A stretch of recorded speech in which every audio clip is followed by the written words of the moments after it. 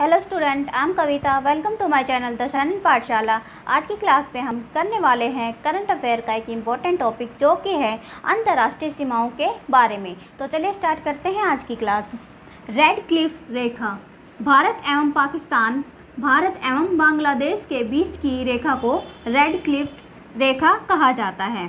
Germany एवं France के बीच की रेखा को कहा जाता है मैनी मैगिनोट रेखा।